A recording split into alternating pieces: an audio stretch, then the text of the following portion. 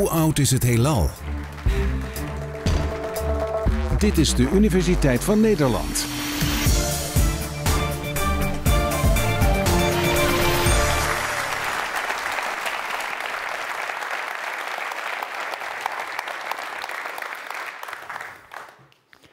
Dames en heren, u kijkt allemaal vast wel eens s'avonds naar de sterrenhemel. En als het goed is, kijkt u naar de sterrenhemel met een blik van herkenning. Want een van de leuke dingen aan de sterrenhemel is, als je naar boven kijkt, je herkent meteen allerlei patronen aan de hemel, want die zijn er altijd. er zijn een paar dingen die wel eens veranderen aan de sterrenhemel. De maan staat altijd ergens anders. En soms zijn de nachten kort en soms zijn de nachten lang. Maar als je kijkt naar zo'n sterrenbeeld als de grote beer hier, dat herkent iedereen meteen. Ah ja. En wat dat natuurlijk betekent, is dat de sterrenhemel heel onveranderlijk is en heel betrouwbaar. Hij ziet er elke nacht hetzelfde uit. Alleen door de seizoenen heen verandert een beetje welke sterrenbeelden midden in de nacht aan de hemel staan en ook door de nacht heen. Dus als je het een beetje weet, dan kun je de sterrenhemel gebruiken als een klok en ook als een kalender. En dat is precies wat onze voorouders deden. Dus die hemel is heel betrouwbaar, die lijkt eeuwig, onveranderlijk. Maar is dat nou zo? En wat is er allemaal in? Is dat echt waar? Nou, als je gaat kijken wat er allemaal is in ons heelal, dan vind je daar een heleboel dingen um, bijvoorbeeld een heleboel melkwegstelsels en sterren. Als je kijkt naar een plaatje als dit, dan zie je daar een heleboel kleine vlekjes in. En al die kleine vlekjes zijn hele grote groepen van 100 miljard sterren, zoals de sterren in onze melkweg en zoals onze melkweg. Maar dat is best wel ingewikkeld om daarachter te komen. Hoe zijn we daar nou achter gekomen in de loop van de tijd? Want dat is niet zo eenvoudig. En verder is het zo dat die dingen zo ver weg zijn, dat je als het ware ook een beetje terugkijkt in de tijd. Het licht gaat 300.000 kilometer in één seconde.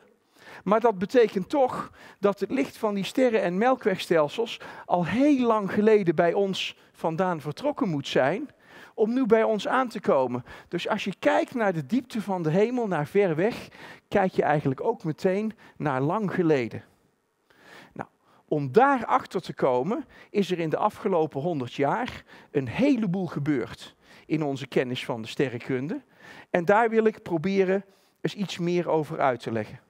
Kijk eerst eens even naar een plaatje van een heel bekend sterrenbeeld. U ziet hier het mooie sterrenbeeld Orion.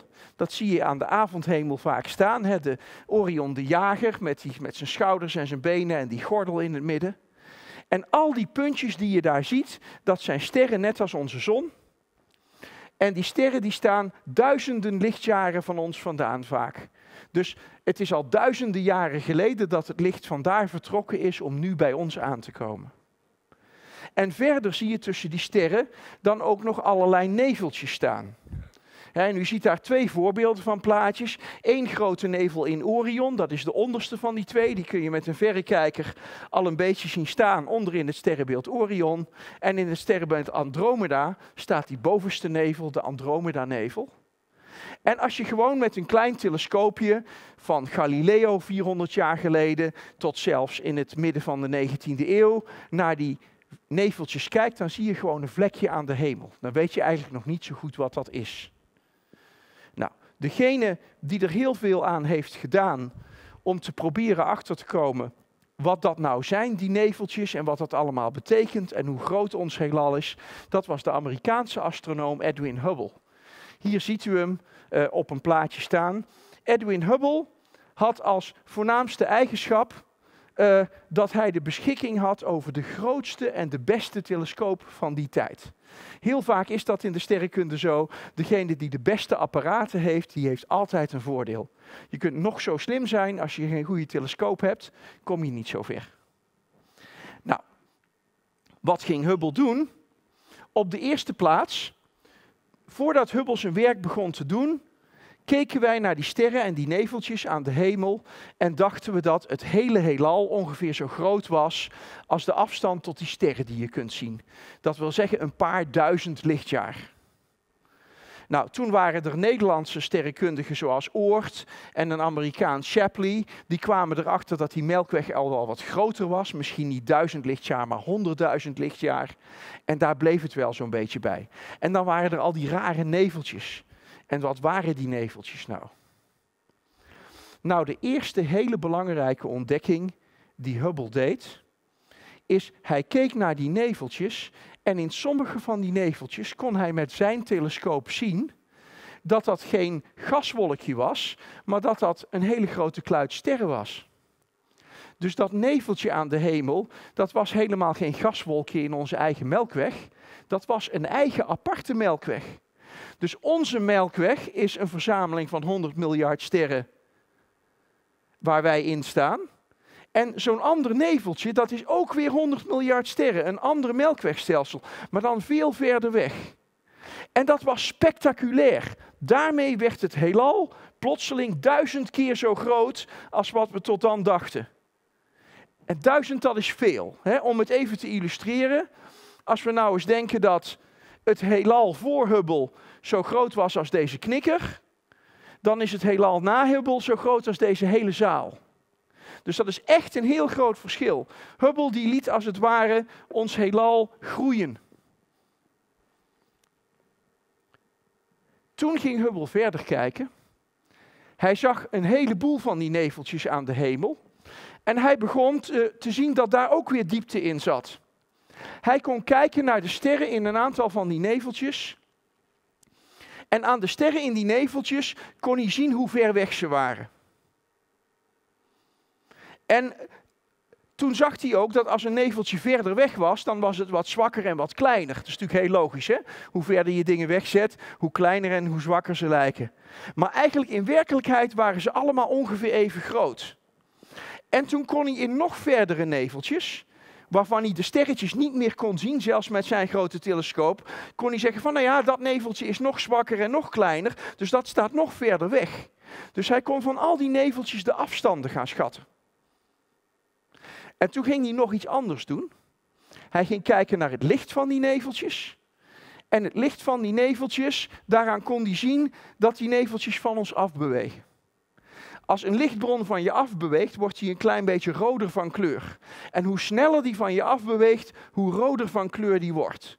Dus hij kon kijken wat voor kleur hebben die neveltjes. En daaraan kon hij zien hoe snel ze van ons afbewegen. Of naar ons toe natuurlijk. Maar hij vond iets heel vreemds. Die neveltjes die bewegen niet zomaar willekeurig door elkaar. De neveltjes bewegen allemaal van ons af. Ze vinden ons helemaal niet aardig. En hoe verder ze wegstaan, hoe sneller ze van ons afbewegen. Dus het hele heelal met al die neveltjes, dat dijt als het ware uit. Dat wordt steeds groter. Alles vliegt van ons weg. En wel op een hele regelmatige manier. Als we eens kijken naar dit grafiekje. Hier ziet u een grafiekje. En in dat grafiekje staat horizontaal de afstand van een melkwegstelsel in miljoenen lichtjaren. En verticaal de snelheid waarmee ze van ons afbewegen. En u ziet een heel mooi evenredig verband. Er loopt bijna een rechte lijn door al die metingen heen. Dus als een, als een melkwegstelsel twee keer zo ver is, beweegt het ook twee keer zo snel van ons af. En het blijkt dat dat iets heel bijzonders betekent. En dat kan ik proberen aan u uit te leggen met behulp van deze autootjes. Laten we eens eventjes kijken hoe dat gaat. Stel dat ik langs de snelweg sta. En op zeker moment komen er tegelijk twee auto's langs mij rijden. Alleen de ene die gaat 60 km per uur en de andere, zo'n mooie rode ambulance, die gaat 120 km per uur. Die gaat veel harder. Nou ja, wat zie je dan natuurlijk gebeuren? Die ene die komt veel verder weg in een bepaalde tijd. Dus als ik een tijdje later kijk, dan is die die 120 km per uur rijdt natuurlijk twee keer zo ver van mij vandaan. Dus twee keer zo snel, twee keer zo ver van mij vandaan. Dat is precies die Hubble-grafiek. En dat is ook wat het betekent. Wat die grafiek van Hubble betekent, is dat ooit alle melkwegstelsels heel dicht bij ons waren, allemaal op een kluitje. En toen zijn ze allemaal met een verschillende snelheid van ons af gaan vliegen. En daardoor zijn ze nu allemaal op een verschillende afstand. Dus het heelal is ergens begonnen. De uitdijing van het heelal geeft precies aan dat het heelal ooit ergens begonnen is. Met alles op één kluitje en sindsdien dijt het uit. Nou, als je die metingen van Hubble gebruikt, kun je precies hetzelfde doen als met die autootjes. Als je weet dat de auto 120 km per uur rijdt en je weet dat hij nu 240 kilometer van ons vandaan is, dan is het hoe lang geleden dat de auto bij ons was? Twee uur, goed zo. Nou, dat kun je met die melkwegstelsels ook doen. Als je weet dat het melkwegstelsel 1 miljoen lichtjaar van ons vandaan is, en je weet dat het met 22 km per seconde wegvliegt, dan is die hoe lang geleden bij ons geweest? Haha, flauw hè, geen rekenmachine. 14 miljard jaar. Om heel precies te zijn 13,7 miljard jaar. Give or take een half miljard. Er zitten wat fouten in die metingen, dus we weten de leeftijd niet heel precies. 13,7 miljard, beetje meer, beetje minder. Ik zal het voortaan afronden tot 14 miljard. Dus wat die metingen aangeven is, het heelal heeft een begin gehad. Het is helemaal niet onveranderlijk en eeuwig. Het heeft een begin gehad en vanaf die tijd dijt het uit. En dat begin was 14 miljard jaar geleden. Dat noemen we de oerknal. Nou, in de loop van de ontwikkeling van het heelal zijn er allerlei andere dingen ontstaan. En die zijn ook allemaal in miljarden jaren te meten. Dus dat is een beetje lastig. Laat ik het eens even proberen ongeveer op een mensenleven te schalen. Laten we een mens nemen die 70 jaar wordt. Dus een beetje een rond getal. Dat gaat mooi met die 14 miljard. Dus één, uh, vijf jaar in het mensenleven is 1 miljard jaar van het heelal. Onze melkweg is 11 miljard jaar oud. Dus op die mensenlevensschaal is dat 55 jaar. Dat ben ik nog net niet, maar dat is ongeveer zo oud als ik. En uh, onze zon is 4,5 miljard jaar oud en de aarde ook. Dat is op die schaal 23 jaar, ongeveer de leeftijd van mijn kinderen. Maar bijvoorbeeld de mensheid, een beetje moderne mens, is er pas ongeveer een miljoen jaar. En 1 miljoen jaar op die hele schaal is maar twee dagen. Dus op dat hele mensenleven, als je de bestaan van de mensheid daarop schaalt, bestaat de mensheid pas twee dagen. En wanneer vond Hubble nou die, dat uitdijende heelal, dat was een eeuw geleden, dat is op die schaal van de mensenleven maar twee seconden, dat is net gebeurd. De hele menselijke geschiedenis zit in de laatste paar seconden van dat leven. Dus zo klein zijn wij en zo nog net maar zijn wij er in dat hele grote heelal. Nou, dat is nogal schokkend. We waren begonnen met kijken naar de sterrenhemel en de indruk krijgen dat het heelal er altijd zo is en niet verandert. En als je dan eens goed gaat kijken met grote telescopen, kom je erachter dat het heelal steeds groter wordt. En dat het een begin heeft gehad en een bepaalde leeftijd heeft. Het heelal is 14 miljard jaar oud. Nou, wat concluderen we dus uit deze lezing? We concluderen dat het heelal een begin heeft gehad. Het heelal is heel erg oud en heel erg groot, maar het is niet oneindig groot en oneindig oud. Het is 14 miljard jaar geleden uit een heel klein kluitje ontstaan. Dat noemen we de oerknal en sindsdien dijt het uit. Er zitten miljarden melkwegstelsels in dat heelal, 100 miljard ongeveer, ongeveer evenveel als wij hersencellen hebben. En in elk van die 100 miljard melkwegstelsels zitten weer ongeveer 100 miljard sterren. Dus zo groot is dat heelal en zoveel zit erin. En hoe dat nou eigenlijk werkt, dat leg ik uit in het volgende college. Dank u wel.